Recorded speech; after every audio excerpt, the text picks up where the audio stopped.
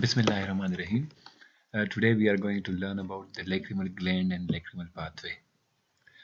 A lacrimal gland is an exocrine gland that is present below the upper eyelid and that is responsible for the secretion of lacrimal fluid or tears. This is the first slide. In this slide we can see that uh, this whole pathway represent the pathway of uh, lacrimal gland or lacrimal secretion. Uh, to know about the lacrimal gland and lacrimal secretion, we are going to uh, learn a few terminologies. The lateral side of the eye, this is the lateral side of the eye. This lateral side of the eye is called, this edge is called lateral commissure. This is called lateral commissure. While this median uh, side, this median side of the eye where the two palpebra or two eyelid meet. That point is called median commissure i'm going to write it. One is a lateral commissure just like the commissure up lips. And the other is median commissure now the gap in between the gap in between the upper and lower eyelid. The whole gap this gap this gap is called this is called palpebral fissure. This is called palpebral fissure.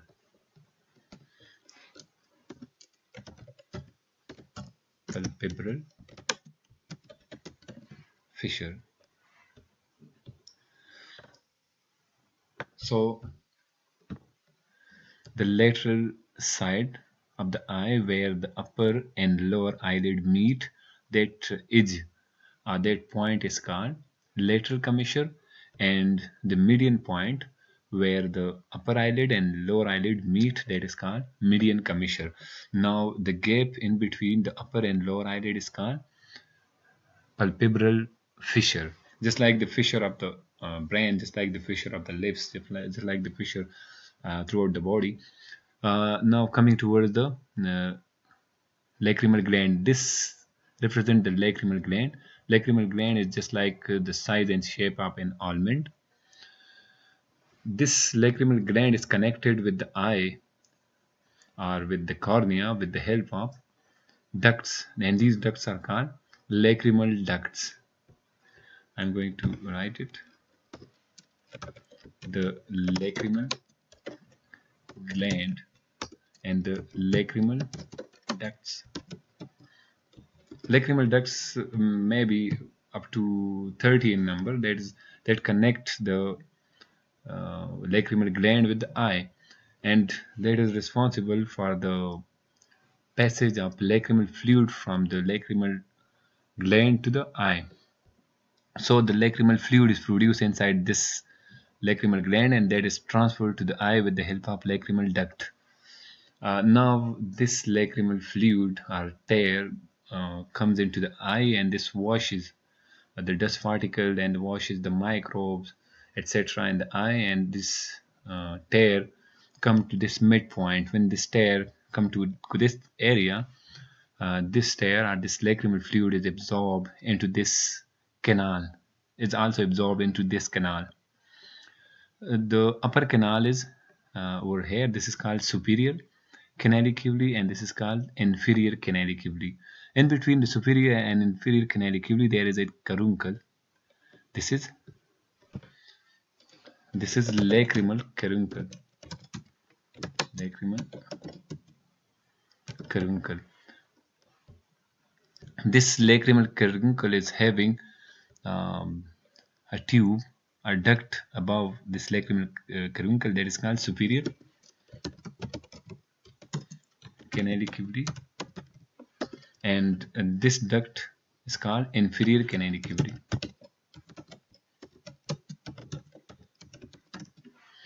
now coming towards the next one. So the tear come from this gland to the eye from the eye it uh, goes toward these canaliculi and from these canaliculi this tear or this lacrimal fluid is transferred to this sac and this sac is called lacrimal sac. Lacrimal sac is actually present adjacent with the upper part of the nose uh, near the eye near the median commissure uh, this lacrimal sac is present and this lacrimal sac is connected again this is connected with the nose with the uh, nasal cavity of the nose. The nasal cavity of the nose is having three turbinates the superior turbinate the median turbinate and inferior turbinate so this lacrimal sac is connected with the inferior turbinate I have written this. This is the inferior turbinate of the nose and this inferior turbinate of the nose is connected with this lacrimal sac with the help of a duct this duct is called nasolacrimal duct.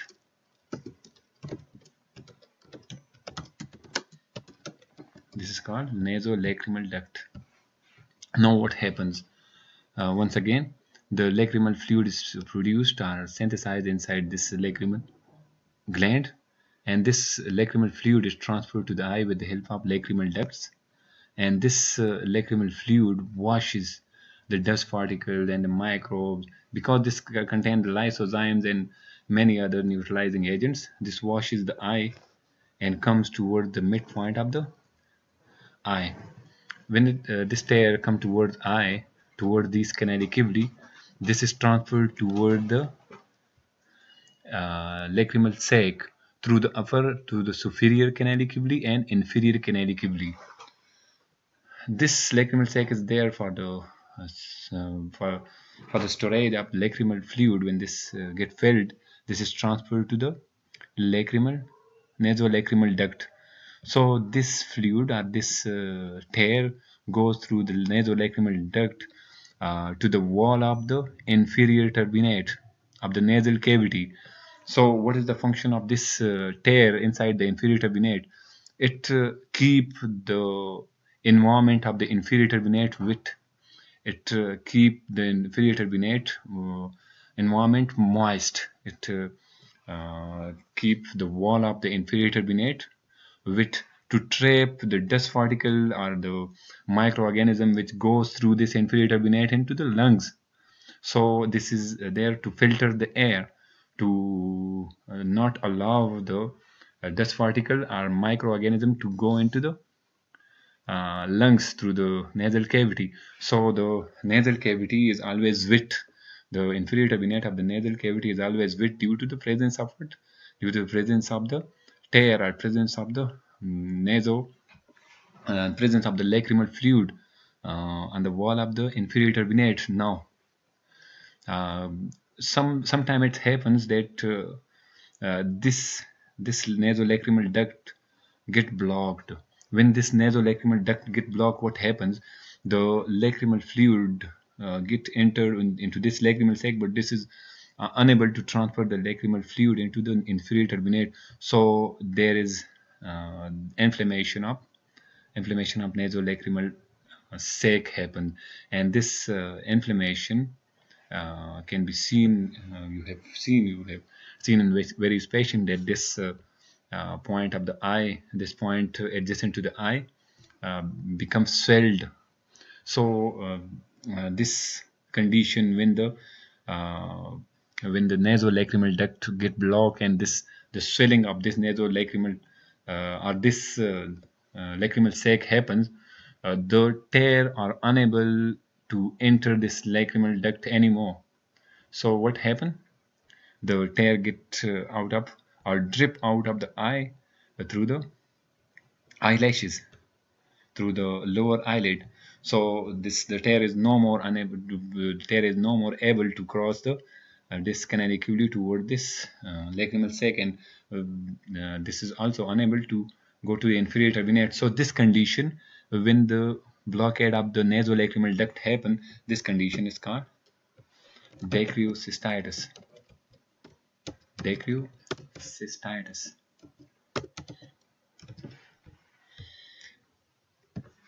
You have seen a lot of, uh, I'm, I'm going to show you in this diagram. This represent the lacrimal gland. This is uh, at the, at the inferior uh, this is at the dorsal portion of the upper eyelid you have seen. And this uh, lacrimal gland is connected with this point. This is connected with cornea with the help of what? With the help of uh, lacrimal ducts. Uh, now sometime you have, you have seen or you will have seen uh, this is this kid is uh, the, he, this kid is laying on lateral position. You can also call it call it uh, recumbent position when sometime uh, you get to lie in the bed uh, when you lie in the bed on lateral position what happened and you keep your eyes open what happened to your eyes? The cycle of the lacrimal pathway the cycle of the lacrimal gland or the lacrimal fluid uh, which which is secreted from the lacrimal gland over here lacrimal gland is over here. And from this lacrimal gland the lacrimal fluid is secreted into the eye and this is absorbed towards the nose into the lacrimal sac so the lacrimal secretion or lacrimal pathway of this right eye is normal. Because the lacrimal secretion goes to the eye and from the eye it goes to the nose. But the lacrimal secretion over here is uh, obstructed. How the lacrimal secretion is obstructed um, you should focus on this point that when the lacrimal gland secrete the lacrimal fluid to the eye what happened this cannot go upward against the gravity. That can this cannot go into the canaliculi to, uh, to go to the lacrimal sac so what happened to the lacrimal fluid? This lacrimal fluid drip out of the uh, eye through the lateral commissure. This this dripping out of the uh, of the tear or this dripping out of the lacrimal fluid is due to the uh, blockade of this pathway. Due to what due to the uh, or the uh, uh, halting of this pathway due to what? Due to the uh, gravitational force due to the position of the eye. When your eyes are closed then this dripping do not happen because the eyelid do not allow the uh, tear to get out of the eye. So the uh, normal cycle of the uh, normal cycle and normal pathway of the lacrimal fluid is carried on the sole function or the function of the lacrimal fluid is to wash out the microorganism from the uh, from the eye and, and also to filter the air and the inferior turbinate of the of the nose. Some of the fluid is also absorbed over here with the help of capillaries over here uh, and these capillaries uh, uh once again uh, recycle this fluid towards this gland. But uh, this rarely happens the 90% of the fluid is evaporated from the inferior turbinate and the 90% of the fluid mm, is also evaporated from this eye. Uh, but uh, this is produced in very minute quantity inside the uh, this uh, um, lacrimal gland. About uh, less than 2 ml of fluid is produced daily but sometimes when this eye come in contact with a uh, with a nasty substance when this eye come in contact with an irritant what happen the parasympathetic nervous system is activated and it uh, activate this uh, lacrimal gland to secrete large quantity of tears. So the function of the um, this uh, pathway the function of this uh, lacrimal fluid is to wash out the microorganism with the help of lysozymes which are present inside this and the dust particle and also to accumulate the dust particle towards the caruncle toward the lacrimal caruncle and then we remove this uh, uh, the dust particle from here when that's